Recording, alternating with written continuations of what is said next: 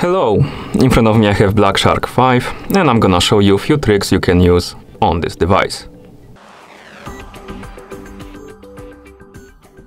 First I'm gonna show you how to change the uh, navigation or system navigation type on this device. So let's open the settings on our phone. In settings scroll down, find the uh, home screen option and tap on it. Here tap on system navigation and as you can see right here we have two types of navigations we can select from. The first one is the buttons. So basically you have the buttons right here on the bottom of the screen and you can use them to navigate the system. We have the back button, the home button and the menu or recent tasks button. And we can uh, use them by tapping on them like this. And we can do a couple of things with them also. We can customize them a little. We can enable or disable the option to mirror the buttons. Basically, they will sw switch the sides, the uh, menu and the back button. We can tap on button shortcuts to make a shortcuts for them. For example, uh, we can tap on one li like long press the menu button, select something like um, uh, turn off screen. And now when I press and hold on the recent tasks slash menu button, it will turn off uh, the screen. Uh, for some reason it didn't work. Let me check why. Oh, because it was not selected for some reason. Okay, turn off screen now and the screen will turn off like this. And you can customize a couple of the shortcuts as you can see. Okay. Um, below we have also automatically disable navigation buttons. You can basically enable it for certain apps and the uh, buttons will be disabled or should be disabled uh, when the when you open the app basically. This option is a bit wonky, doesn't work too well, but that's how it works, I believe. Okay, let's go back. Now we can select the different type, the gestures. This allows you to perform uh, or rather navigate the system by using the gestures on the screen. So for example, if you want to go back, you swipe from the edge of the screen to the middle of the screen, like this, and it works from the both edges, so left or right edge. Next, if you want to go to home screen, you swipe from the bottom to the top, like this. And if you want to open the recent tasks, tasks rather, you swipe from the bottom to the middle and hold for a second or two to open the recent, recent tasks, like this. And we can also enable or disable the, the option to hide full uh, screen indicator and also to enable or disable the gesture confirmation. Okay, so that's how you change the system navigation. Now, let's go back to settings.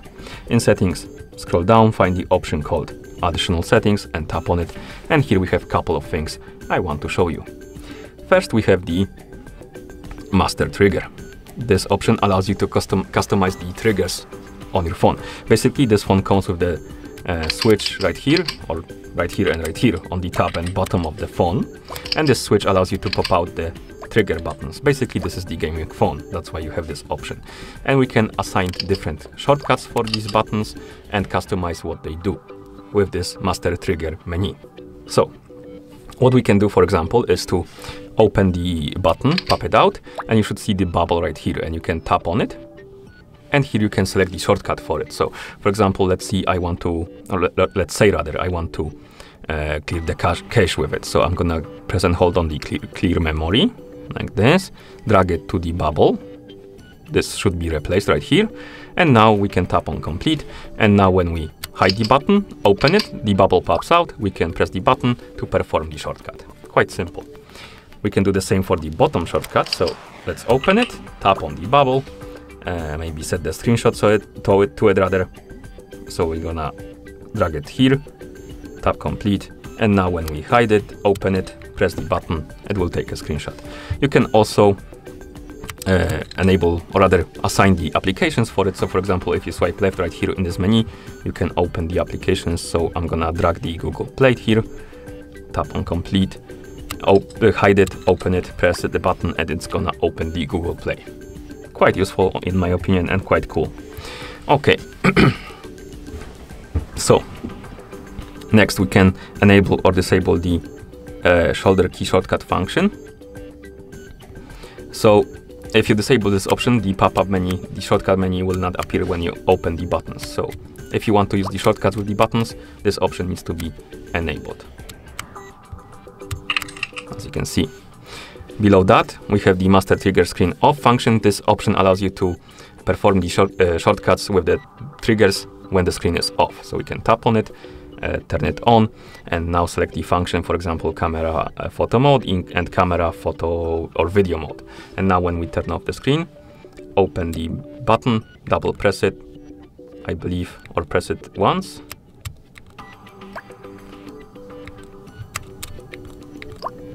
I think it's double press, but I may be wrong.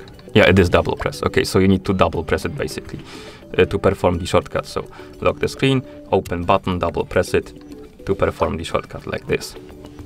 Okay, and that's how it works. And you can select only between camera and flashlight. Okay. Next, we can scroll down and here we can customize the button themselves. We can, buttons rather. We can enable or disable the haptic for them, so the phone won't vibrate or will vibrate uh, when you switch the buttons. We can change the sound effect. For example, we can select something like meow. Like that. Um, we can also uh, customize the gaming scene. So if you're playing, you can enable or disable the haptic. You can change the sound effects while playing and also light effects like this. Okay. Mm, okay, so we're done with the trigger. Now we can tap on switch right here, and here we have the shortcuts for the switches. So basically the switches that you use to pop out the trigger. And we can do a couple of things for them. We can enable the shortcuts for them. So now when you enable the toggle switch shortcut function, you can tap on shortcut right here. We have the upper or lower switch. We can tap on the shortcut on the upper and find something to open, for example, screenshot. So the upper button has the screenshot and the lower button, let's select something like, I don't know, screen record, okay? And now to perform the shortcuts with them, we need to uh, close the trigger and quickly open it like that to perform the shortcut. And we can also do the same with the lower button. Quite simple and quite cool, if you ask me. We can also do this for the turn off screen, of course, so we can tap on toggle with the screen off, and we can enable it, select one of the options, and when the screen is off, we can perform the shortcut like this. Okay, that's about the triggers. Now, another thing I want to show you is the magic ball, or quick ball rather, right here, quick ball. Tap on it, and here we can turn it on. And if you turn, if you turn on the quick ball, this basically allows you to have this, this little shortcut menu on the side. You can tap on it, it's barely visible right here. And this will open the shortcut menu and we can do a couple of things like, for example, take a screenshot and stuff like that. And we can customize this menu. To do it, simply uh, tap on select shortcuts. And here we can tap on one and select something like Bluetooth. Next, let's tap on lock and select something like silent. And now when we tap on this icon, it will open the menu. We have Bluetooth. Should turn off the turn on the Bluetooth, turn it off like that. Uh, silent like this. We can also change the order of the icons on the list. So for example, let's move the bug to the top like that. If you open the menu, the bug will be here. Quite simple. And next we have the preferred gesture. You can select tap or swipe. Then we have hide automatically. Here you can uh, turn it on for the apps. And if you, for example, enable it for Chrome and open the Chrome, the uh, quick ball will disappear. It will, won't be visible anymore. So if you don't want to have it in certain apps, it's gonna disappear. Next, we have move aside when full screen. So if you uh, open something in full screen, it will move aside. And then we have stick to the edge after three seconds of an activity. And here you can enable it or disable it. So basically it's gonna hide itself if you enable this option. And you can also set the wake up areas. And here you can customize them by swiping on the bar. So basically how far from the edge of the screen you need to tap to open this menu. Quite uh, okay, that's about it about the quick ball. Uh, next thing I want to show you is, is the um, magic press. So let's tap on it. And this option allows you basically to open the different shortcut menu. So if you enable it, you can press and hold in the area where you have the fingerprint sensor, press and hold firmly to open this menu basically. And you can then swipe on it to perform the action, like this. And we can uh, select different uh, options. We have vibration feedback, we have the force of pressure sensor, and stuff like that. So if you enable or disable the vibration feedback, it will vibrate or, or will not vibrate when you open the menu.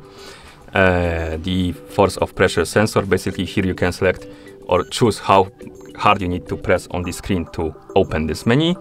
And you can change it by swiping on the slider. And then we have options like suspend and we can tap on it. And here we can uh, select different uh, options for the suspend, different shortcut.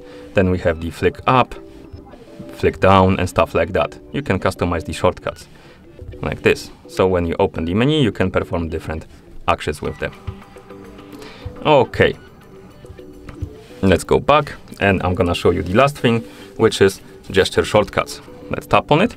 And here we can basically uh, turn on and turn off some uh, shortcuts like uh, launch Google Assistant, take a screenshot and stuff like that. So first let's tap on launch Google Assistant and we can enable the shortcut for them for it by tapping on the switch.